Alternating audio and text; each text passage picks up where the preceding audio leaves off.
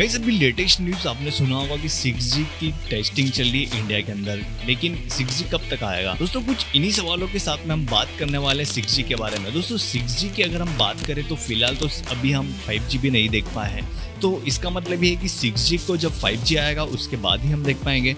तो गाइस हो सकता है कि 6G जो है हमें 2024 तक देखने को मिल सकता है। जी हाँ दोस्तों 2024 के अंदर जो आ, माना जा रहा है कि उसकी पहली टेस्टिंग हो जाएगी और आ, हो सकता है कि हमें 2024 के बाद में 6G नेटवर्क यूज़ करने को मिल जाएगा। फ़िलहाल तो अभी हम 5G का ही वेट कर रहे हैं और 6G की तो काफ़ी दूर की बात है लेकिन फिर भी माना जा रहा है ऐसे कुछ सवाल उठ रहे हैं तो हो सकता है कि हमें 6G 2000 2024 में देखने को मिल जाए।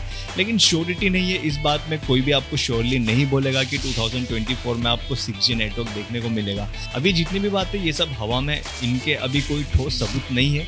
तो फ़िलहाल तो हम यही मान सकते हैं कि 5G जल्दी से जल्दी आ जाए, उसके बाद में हम 6G की बात करेंगे। वीडियो अच्छा लगा तो वीडियो को लाइक एंड सब्सक्राइब ज़रूर कीजिएगा। धन्यवाद दोस्तों।